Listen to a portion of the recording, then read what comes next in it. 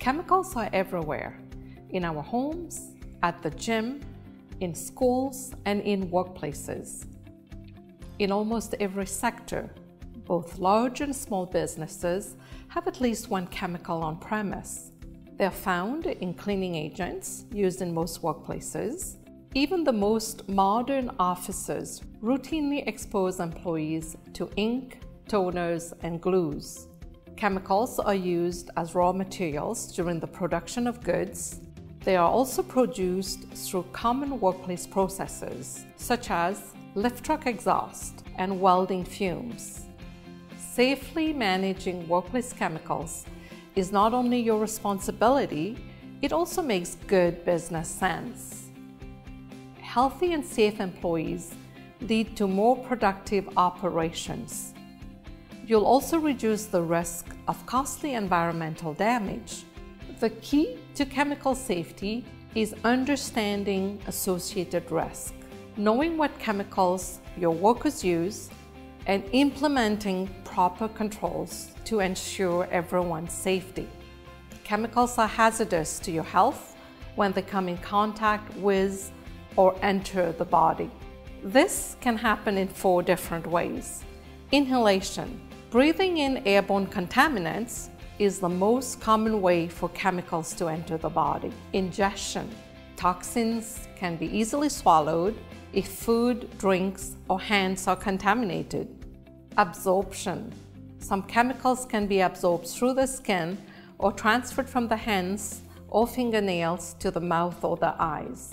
And lastly, injection. Toxins can be injected directly into the bloodstream when a sharp object punctures the skin.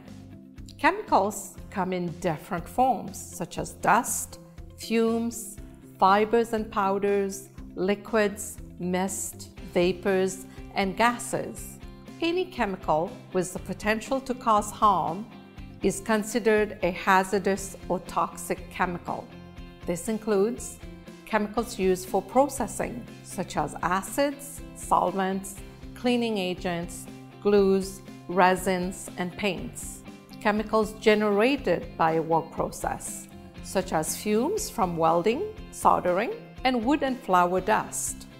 Chemicals generated as waste or residue, like carbon monoxide from exhaust, soldering lead fumes, or diesel exhaust from trucks.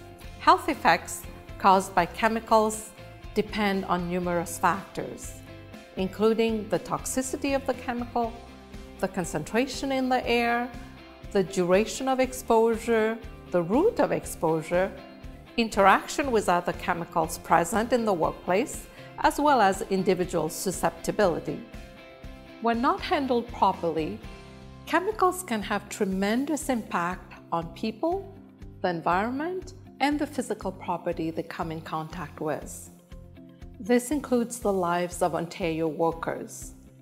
According to WSIB, in 2014, 167 fatality claims were allowed for workers who lost their lives due to an occupational disease. Approximately 60% of these deaths were caused by cancers associated with exposure to hazardous materials. If you treat chemicals with respect, you will help keep your workplace safe.